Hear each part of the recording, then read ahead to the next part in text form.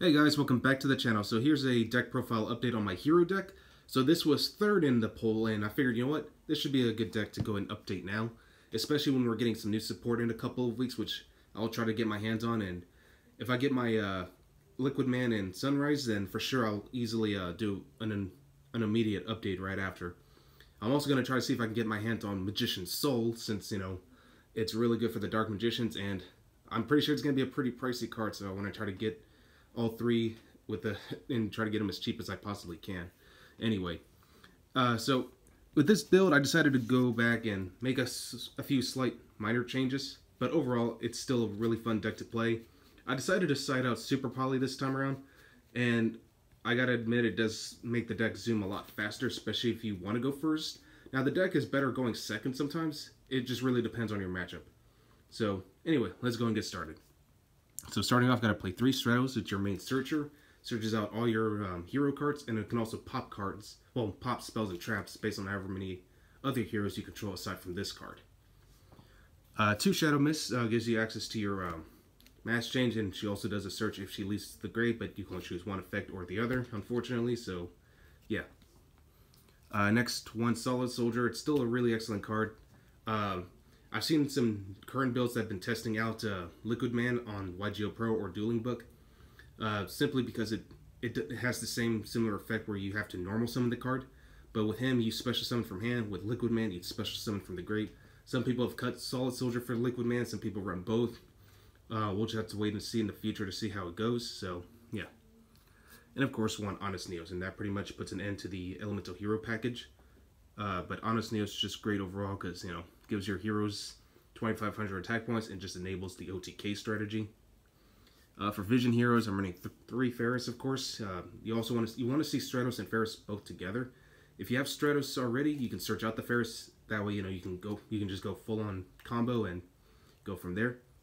Next, to increase, it's a good extender to gives you instant access to your Vision hero Vyons, which comes to our next card. Vyon dumps any hero to the grave. You mostly want to aim for Malicious, but um, yeah, it also gives you instant access to your polymerization. What's also cool about Faris is that if you open up with a malicious, you can discard the malicious instead and still go from there. And yeah, it just becomes nuts. Alright, so for the Destiny heroes, of course, you got to play three copies of malicious. Uh, it's your best extender in the entire deck. Uh, I mean, like, this card's just nuts. The fact that it's back at three, it's just insane. And also, it's really good as a it's a really good target for your evil hero, Dusted Gold, or Dark Calling rather. So, yeah. Alright, so for my one-ofs, one Celestial for draw power, uh, one Dynatag, and of course, one D-Hero Plasma. Uh, pla some people have cut Plasma, I don't see why. I mean, Plasma is skill drain to your, is a one-sided skill drain, so uh, yeah, you definitely want to main deck this, and I've even seen some builds have cut Destiny Hero Celestial. He's like your best target to burn with Dystopia, so I'm like, yeah, don't cut those. Like, you definitely want to run them at least. And for my last one of, it's going to be Evil Hero Adusted Gold. If you don't have access to this card, like I said, just wait for Liquid Man and Sunriser. Honestly, it's generally the same thing. It's just like Liquid Man, you know, it's just a good way to access your, uh, to bring back your Shadow Mist if you decide to discard her or pitch her with Foolish Burial, bring her back, get Mass Change. And plus with Elemental Hero Sunrise, just requires two hero monsters of different attributes, and on the turn you you get to add Miracle Fusion. So they're both. I mean, it's potential. They're potentially to be much cheaper than the Evil Hero package, but we'll just have to wait and see how it goes. Uh, for hand traps, I'm only running three copies of Ash. Uh, I've seen some people just cut hand traps overall, which honestly I think is fine. I mean, for, for me, like if case if I am forced to go second, I want to see what my opponent's playing, and in case he has something that that's dire, like let's say Salamangreat Mirage Stallion, I definitely want to disrupt that. That way he doesn't set up a board against me, and so on. So yeah, like Ash is more like my blind second uh, so that's the only reason why I'm still running it. Alright, so now we're moving on to spells. Playing three copies of Fusion Destiny. This card is busted, gives you access to your Dystopia, and also the fact that it also it's also generally a plus one actually, because you get Malicious to the Grave if you wanted to as well. So yeah, Fusion Destiny, it's definitely nuts. Uh, three mass change, of course, you know, and I managed to get my hands on some super super rares uh, just recently, so I'm really happy with that. I decided to bring back E-Call to three. I was running it at two for a while, but um, like I said, I just wanted to go ahead and run a third this time around because, like, uh, I found a way to kind of like fit in some other strategies with this card, well, with this deck, and I definitely want to see my Stratos as soon as I can. And if I happen to open up with a Shadow Mist, I can search out my um, my uh, Solid Soldier just so I can get a free mass change on board. So uh, that's the only reason why I decided to go and bump it back up to 3. It also searches your Honest Neos. Uh, one ROTA, of course.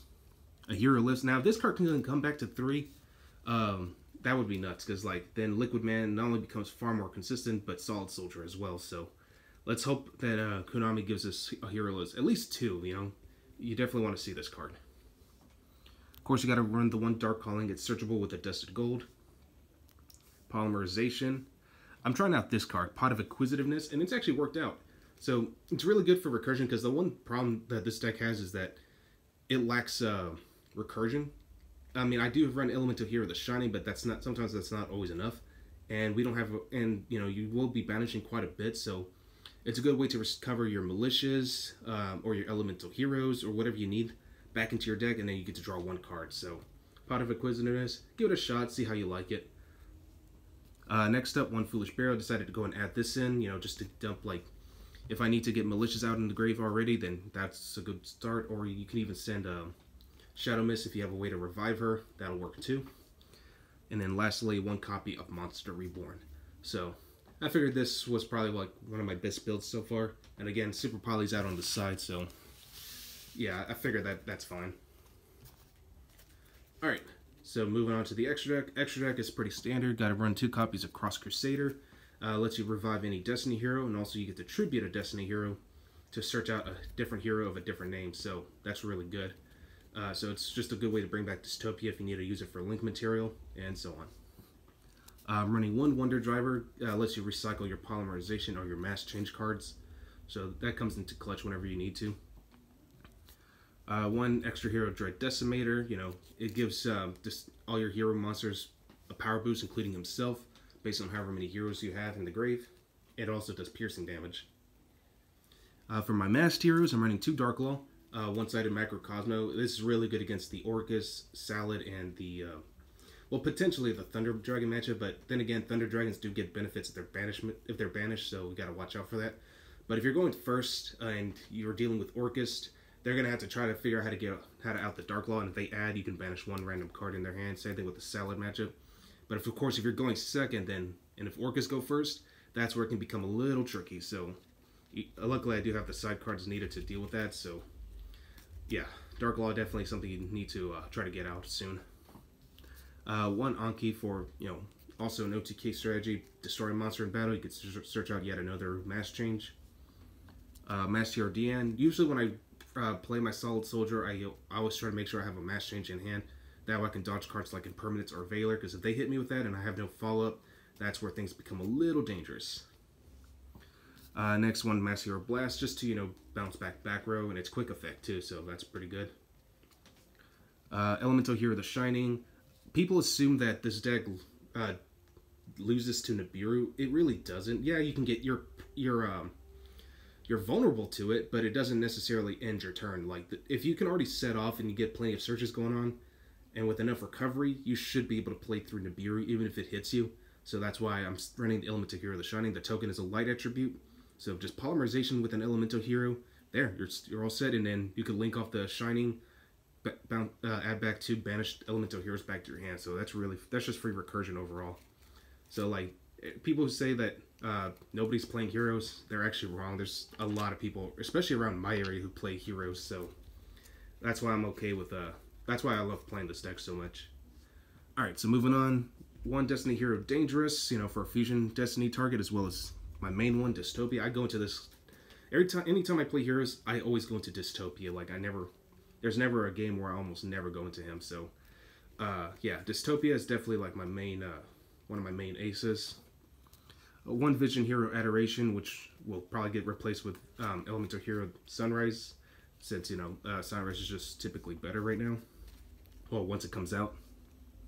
One Vision Hero Trinity, uh, your main OTK enabler, uh, can attack three times. Honestly, this is the card that kind of hits Salad like big time, because, you know, they have no way to beat over it. So, yeah, and the fact that he goes into 5,000 attacking with Honest Neos, it'll just become 7,500. And lastly, one Evil Hero Malicious Bane. Also an expensive card, but again, Just wait for the Miracle Fusion to, uh, support if you don't have access to the Evil Heroes. So there are other budget options you can play, so don't panic. Heroes is, are still playable without the Evil Heroes. Alright, so for the side deck, uh, it's just a pretty standard side deck. I'm running three Lancea. This is mainly how I deal with Orcust and uh, Thunder Dragons, because Thunder Dragons and Orcust are kind of my worst matchups. Also running two copies of Nibiru. I'm opting to play three just to cut the Super Poly, but I'm still debating on that, whether or not I should. I will also have the Starving Venom Fusion Dragon on this side. But against Thunder, you know, they do set up the Colossuses. I can usually, I already know what I could side out for the Super Polys anyway, so there we go. Three Super Poly. Uh, for back row, I'm going with Twin Twisters and Red Reboot. So, yeah, I just figured these were the best ones to go with.